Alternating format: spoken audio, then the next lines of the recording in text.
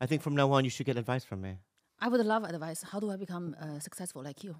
After I'll, I'll, uh, uh, is that a real? You want a real answer? yeah, it's a cliche, but it's also every question I would like like to ask you because you would be the right person to give that advice. Um, uh, my real advice to you, um, without any comedy angle, Mm-hmm. um, is um, kill yourself. No, I'm kidding. No, I no.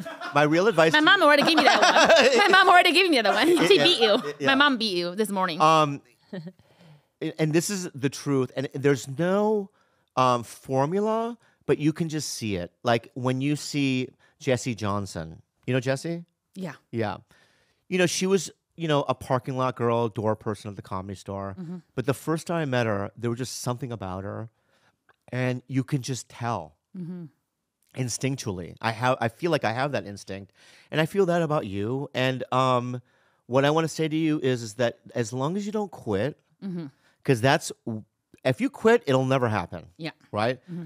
And it's so fucking weird about life. And if you're committed to one thing, mm-hmm. also don't stretch yourself. You know, when people, I had a friend that goes, Oh, I'm in a band, I act, I do comedy, and I paint. Mm-hmm. And he would put all his energy into all those. uh, And I always tell him to focus on one thing. Yeah. If you focus on one fucking thing and you don't quit, what happens is the community, you know what I mean, starts looking at you in a different way.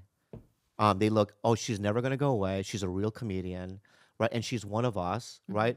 And what happens is people rise together.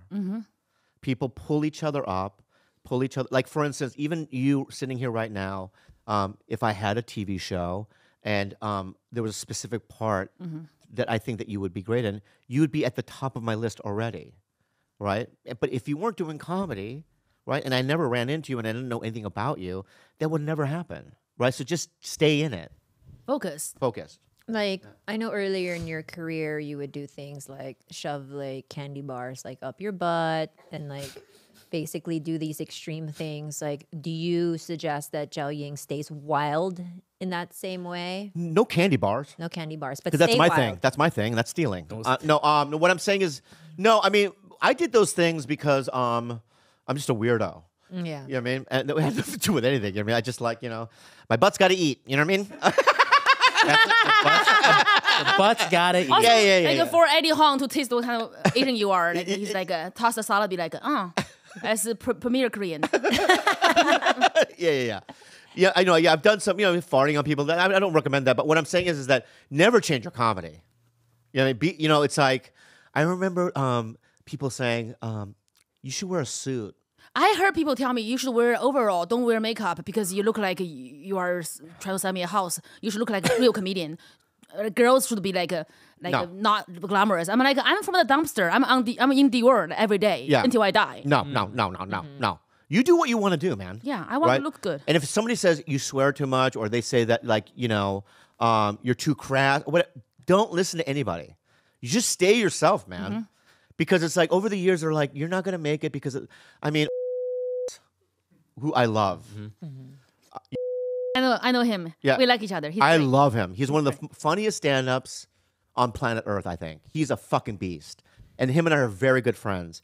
And what I'm about to share with you, right? He's probably not gonna like me saying, right? But I'm gonna share it. Okay. I didn't know many many years ago. This is probably 20 years ago, and he he go he saw my act, and I was like talking about like jerking off and you know what I mean, and just weird, you know what I mean, just that kind of humor. And um, I swore a lot, and you know what I mean, and um, everything was about my dad or Asian, and um, he goes after you um, after you get off, I want to talk to you in the back of the con- uh, Laugh Factory, and he had a conversation with me, and he goes, "You're never gonna get on the Tonight Show with that act," and I go, "I did the Tonight Show." And he goes, "Oh, well, you're never going to be on a TV show with that act." I go, "I'm on a TV show," and he goes, "Oh, don't mind me then." That's And that was the end I of the can conversation. see why he doesn't want you to tell that story. I love this. Maybe bleep out his name. you bleep out his name? Yeah, bleep out his name. Because I know him, he's crazy, and we're gonna have a fight. Right? And then he's gonna record it, and he's one of those guys that's like, Why'd you say this? And then fucking play it back to me. All right. But that actually happened, and it's like, Yeah. I just did what I did, and A lot of people aren't going to like it, Mm-hmm. but some people are. Okay, you're going to be fine. Yes. All right. Thank you. That's amazing advice. Yeah. No Have you done the road yet or no? Yes, I'm touring. I just got back from I'm um, from New York. I, I did a one week in New York. I'm touring. Where?